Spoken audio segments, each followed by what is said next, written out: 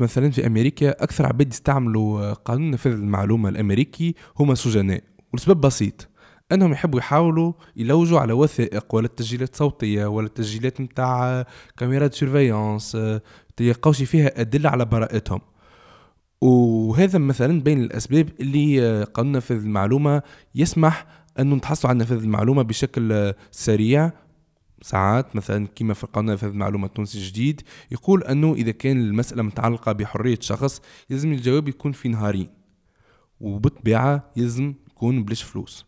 مثلا في الهند فما مواطن حب يشوف الدولة قاعدة تصرف مليح في الميزانية متاع التربية ولا لا. وقت يستعمل قانون نفاذ المعلومة تحصل على معطيات تثبت أنه 80% من الميزانية متاع 8500 مدرسة ماهوش قاعد يتصرف فيه بطريقة باهية واللي هو كان نجم يمشي في المصلحة العامة.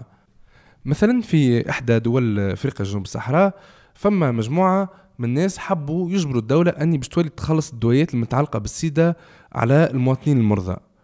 وقت اللي قدموا قضية الدولة قالت ما عنديش الإمكانيات ولاو استعملوا حق نفاذ المعلومة باش تحصلوا على معطيات تثبت سوء التصرف في الميزانية متاع الصحة.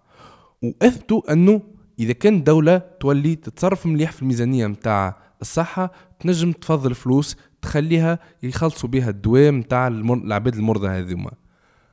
عاودوا قدموا قضية مرة أخرى وأثبتوا أن الدولة بإمكانها أن يتخلص وربحوا القضية ومن وقتها ولات الدولة هذه تصرف على العباد المرضى بالسيدة وتخلص لهم الدواء متاعهم.